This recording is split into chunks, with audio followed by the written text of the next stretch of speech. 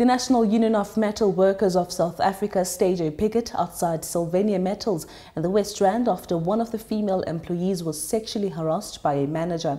The union is accusing the company's management of failing to take necessary action against the accused manager. NUMSA is now demanding that the alleged perpetrator be suspended immediately and an investigation be launched on the matter. Inyunyana okuyi-national union of metal workers of south africa ibambe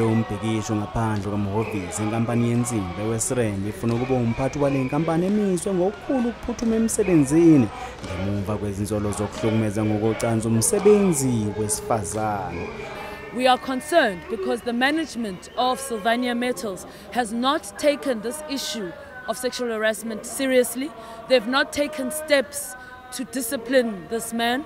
There was a, a, a, a, what we would call a sham disciplinary process where they hired a company that was already on their payroll to do an investigation and the investigation found of course that there was no wrongdoing so part of our demands we are demanding that Tebogo Rasepe must be placed immediately on suspension and an independent investigation must take place through the CCMA. That's one of the demands. umkhulumeli wenomsa kuzolonke uphakamile hlubi majola uthi lesi sigameko esiphambene nomthetho wamalungelo abantu eningizimu afrika ethi kuyaphoxa-ke nokuthi inkampani iqoke umphenyo ovele ongaphansi kwayo le nkampani ukuba iphenye ngalolu daba Akufanele ukuthi kusetshenziswa i-service provider that is already on your payroll because it means that how do we know that the investigation has, has, has come up with the right outcome?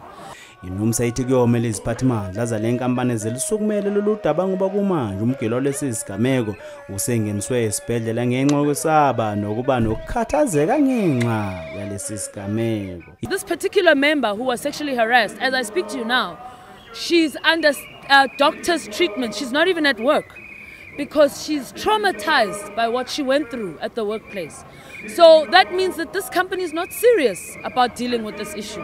And so this is why we're saying that an independent body like the CCMA, which is not, by the way, owned by anyone, it's a government institution, can conduct that investigation and give an outcome. ihlabele phambili inyunyana yanxusa izikhulu eziphezulu zezinkampani ukuba singathi imikhankaso eqwashisa futhi efundisa ngomkhuba wokuhlukumeza ngokocansi ezindaweni zokusebenza ezindabeni zesoweto tv ngingujabulani nsele ngise-west rand